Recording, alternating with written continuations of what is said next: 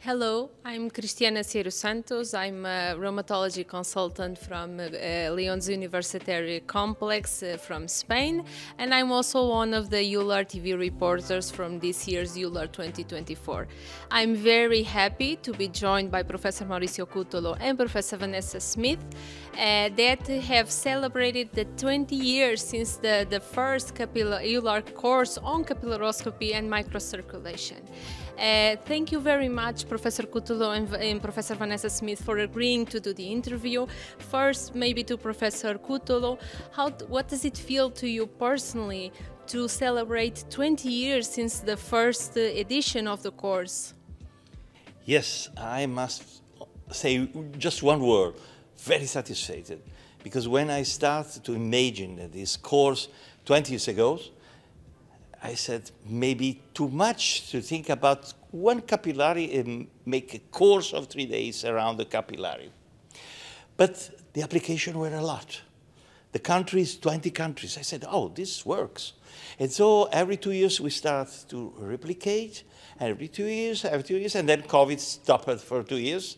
And then we restarted, but this time with uh, EULAR uh, as uh, decided to have our course pre-Congress course. So this again another advancement. And then now, as you know, we have sold out. Happy people that came during the third, the fourth, they came again because they see that it's every year updated. So every year there is something new. And this is also a reason of satisfaction, pleasure, and to thank all my colleagues that uh, made possible this adventure that is growing over the time. That is wonderful. As one of the participants myself from the course, I would advise all young people who are interested in capillaroscopy to do it, and you also have the online course, which I did myself, yeah. and it's it's very nice. So I, I think people should should do it for sure. And for Professor Vanessa Smith, has the course changed a lot over the times? What are some of the innovative uh, implementations that you have uh, used in the course, or what are some of the novelties that you would like to share with our audience? Well, I'd like to share. Thank you so much, Cristiana, first of all, for coming and for being so active. What has changed over the time from when I started to now is that thanks to EULAR, we could make a standardization of how to interpret capillaroscopy.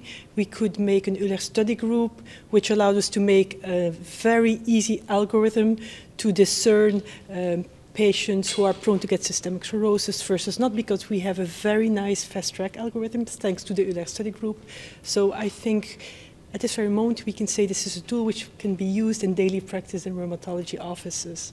That's great. I don't know, Professor Cutolo, if you would like to elaborate on some of the uh, uh, innovation. Right. Yeah, because I really like, enjoyed using the ultrasound and the LASK, there's a lot of, I think the course is very complete in that aspect.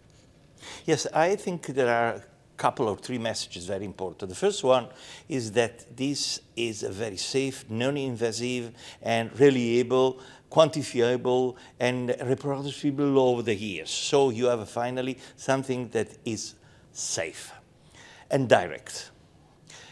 First, important for the early diagnosis. Second, that uh, uh, you must think about uh, that rheumatology finally have in their hands some tools for diagnose the disease by themselves.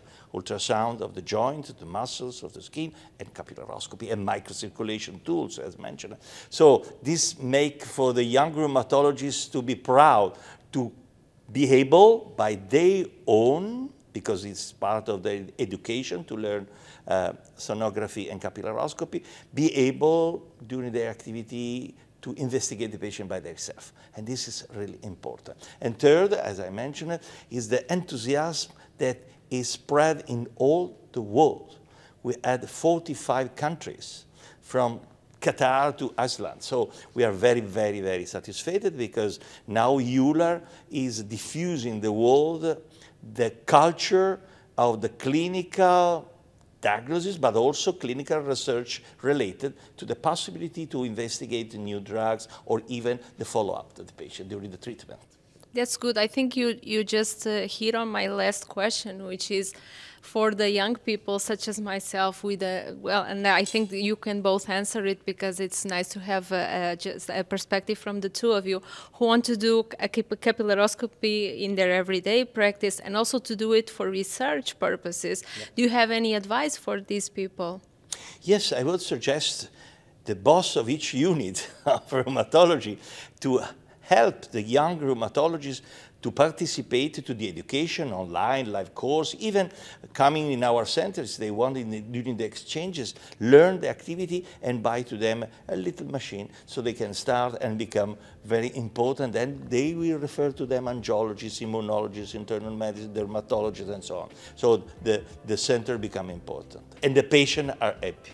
That's true. And Professor Smith? I fully agree with that, and I would also like to invite the youngs like you to join the EULAR study group because as we now have standardization, we can do joint research across not only systemic sclerosis but a lot of rare connective tissue diseases and make bridges to other continents. In this way, with the EULAR study group, we've made nice bridges to the United States.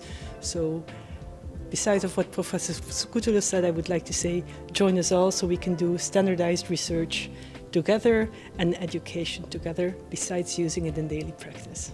That's a very nice incentive. So thank you very much, Professor Cutolo and Professor Smith, for uh, agreeing to do the interview. And thank you all for watching this interview and have an amazing EULAR 2024.